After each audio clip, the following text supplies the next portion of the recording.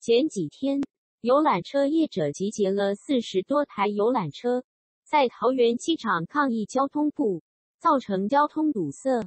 一名网友正好开车经过，误入车阵不能动弹，无奈在 PTT 上 PO 文说：“小弟载同事去桃机第一航厦搭飞机，结果遇到一大堆，至少四十五十台跑不掉，整个把第一航厦包围了。”然后不小心跟车一起卡在游览车阵中，有点无助。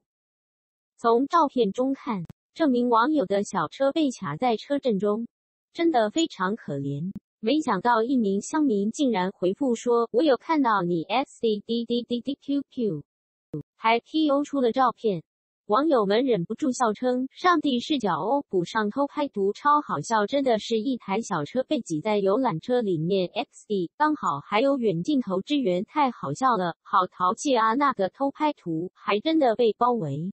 喂，你在桥上看风景，看风景的人在楼上看你。